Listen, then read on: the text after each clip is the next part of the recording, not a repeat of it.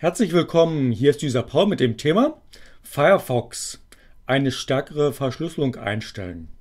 Wenn man sich zum Beispiel bei YouTube anmelden möchte, mittels HTTPS über eine verschlüsselte Verbindung, was für eine Verschlüsselung wird eigentlich genutzt, das findet man heraus über Extras, Seiteninformationen, Sicherheit und ganz unten bei den technischen Details, dann steht das da welche Verschlüsselung genutzt wird. Das ist hier RC4 128-Bit Schlüssel.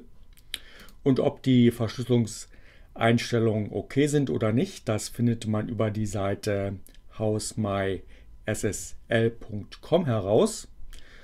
Also einige Einstellungen sind hier nicht so gut. Um eine stärkere Verschlüsselung zu erzwingen, geht man wie folgt vor.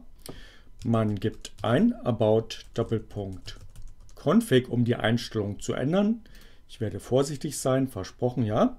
Sucht nach RC4, um alle RC4-Einträge zu deaktivieren. Man setzt alle Einträge auf False, macht einfach einen Doppelklick auf True. Dann ändert sich der Wert. Dann einfach schließen, beenden und Firefox neu starten. Und mal schauen, welche Verschlüsselung jetzt genutzt wird. Das ist jetzt hier AES 128. Um noch auf AES 256 zu kommen, geht man die gleiche Prozedur durch, bloß man sucht nach AES und deaktiviert dann dort alle 128 Einträge. So wird dann automatisch 256 genutzt. Alles deaktivieren.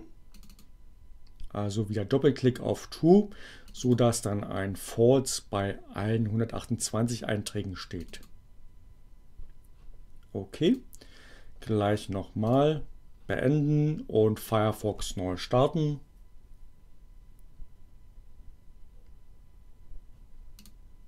Okay, anmelden bei YouTube.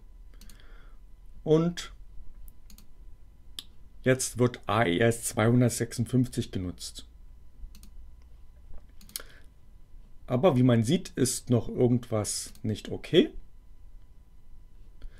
Also wieder About Doppelpunkt Config. Nun sucht man nach TLS und setzt hier die Version 3. Also man verändert den Wert 1 macht einen Doppelklick drauf und gibt dann 3 ein. Okay, dann Firefox beenden und gleich nochmal neu starten und mal schauen,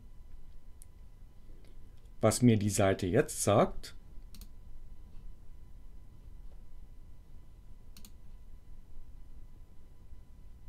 Okay, dann gibt es hier nur, nur noch einen schlechten Wert. Also gehe ich wieder die gleichen Schritte about Doppelpunkt config, suche hier nach FIPS mal und hier gibt es einen Eintrag, den setze ich wieder auf false. Der steht dann auch hier unten. Und dann Firefox neu starten. Und jetzt müsste eigentlich alles okay sein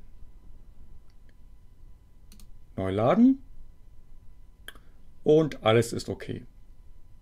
Und so erzwingt man eine bessere Verschlüsselung.